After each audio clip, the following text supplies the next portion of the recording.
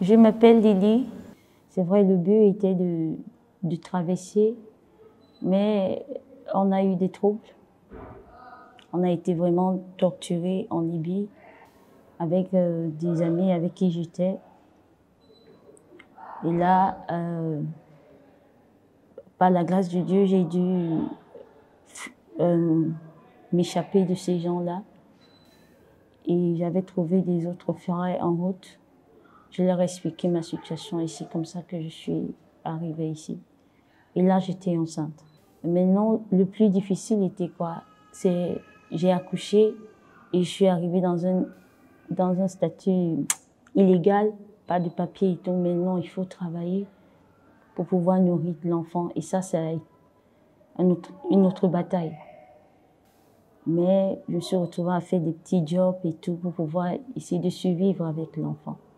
Je m'appelle Rebecca. Je suis ivoirienne. Euh, j'ai 27 ans.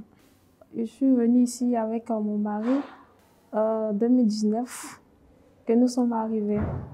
Lorsque j'étais enceinte euh, de trois mois, j'ai perdu mon mari. Il a été agressé ici par les Tunisiens.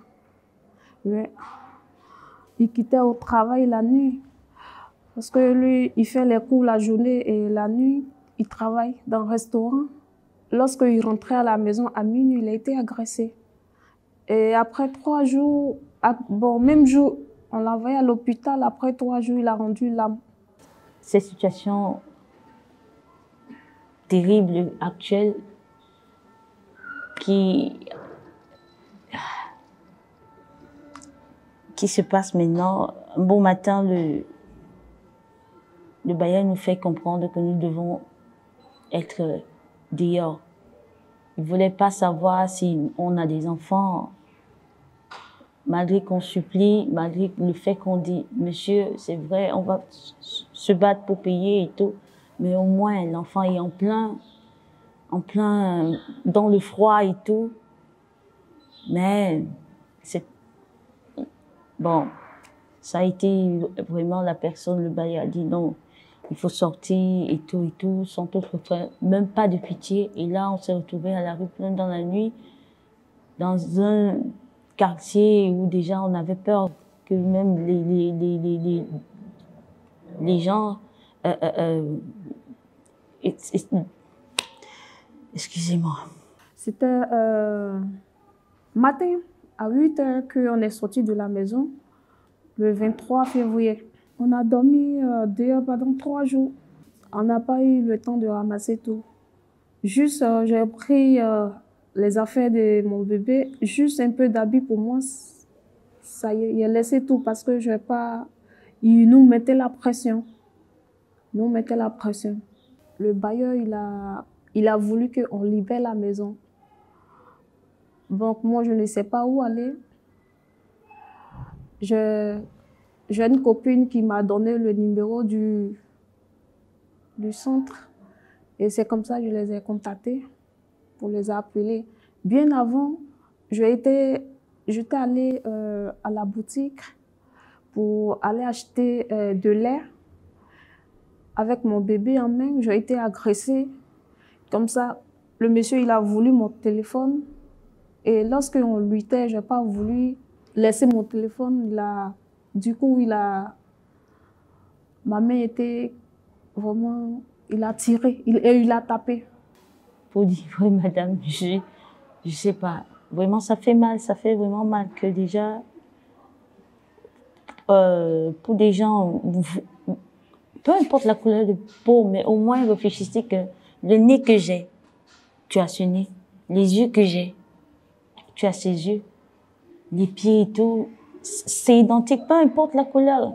Et même si c'est la, même couleur, mais au moins ici, vous avez des frères même qui sont tunisiens, qui sont là.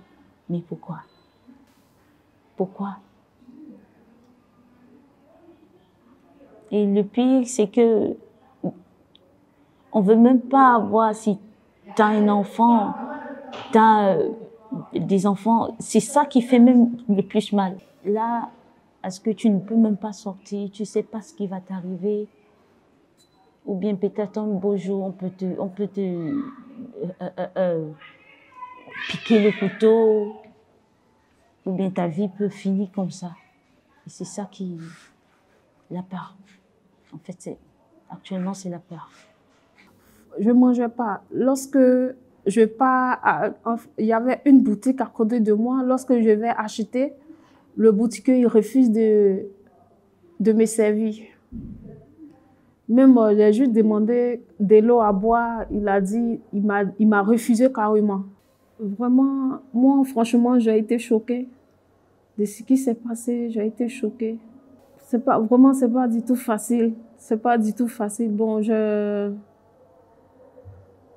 je trouve qu'il y a un peu de racisme.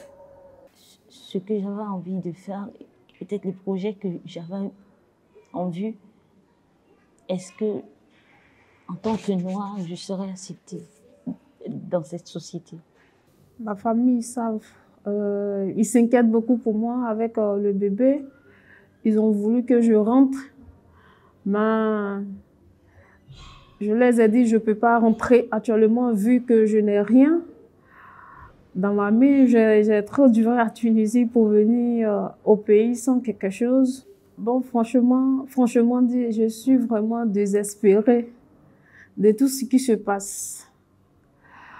Et en même temps, j'ai vraiment mal. Parce que je me dis, nous sommes tous des êtres humains. Nous sommes tous des êtres humains. Et avec tout ce qui se passe, euh, c'est trop. Pour moi, c'est trop. Même avec un bébé, euh, ils arrivent à nous agresser. Pour moi, c'est trop. Bon, avant, avant, avant, avant moi, j'ai euh, subi plusieurs actes de racisme, plusieurs.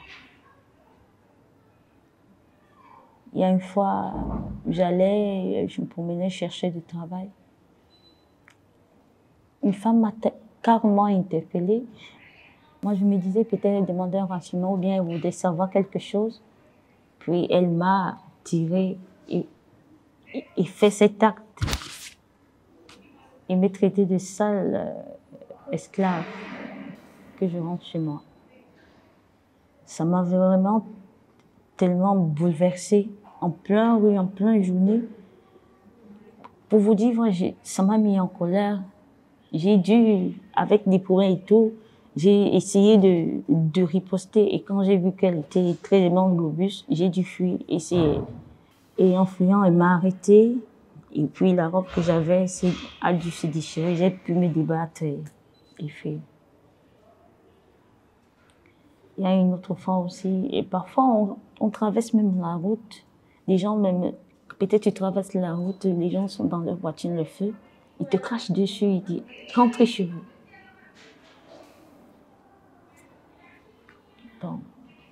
parfois aussi même dans les métros. Et